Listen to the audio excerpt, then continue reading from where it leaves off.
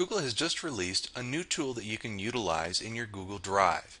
In text documents and in new Google Sheets, you now have a new feature in your top menus. We have what we call add-ons.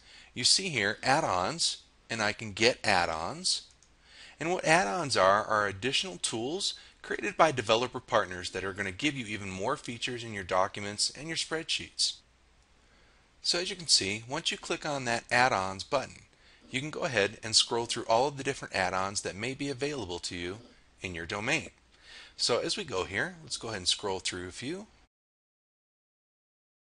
And you see some of the ones that I can point out for you.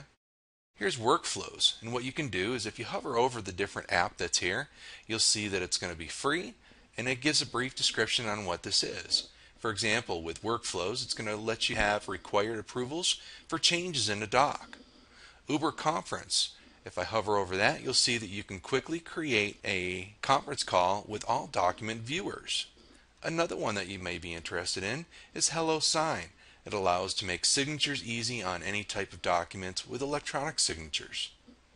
To add one of these apps, it's real simple. Go ahead down to where it says plus and free, click. It's going to bring up another box for you. It's going to say that it would like to do certain things with your account. Go down to the bottom, click accept.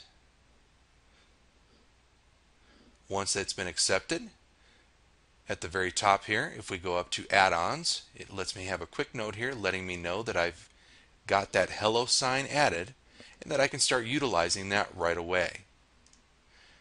If I just go ahead and just close this for a quick moment and go back to that add-ons, if I come into a new document, I'll go to that add-ons menu, click, and you'll see here's the one that I've just added. Go right into this and I can sign a document. I can even try HelloFax. So you can go ahead and add multiple apps to your different applications that you may have, whether it be text documents or new spreadsheets.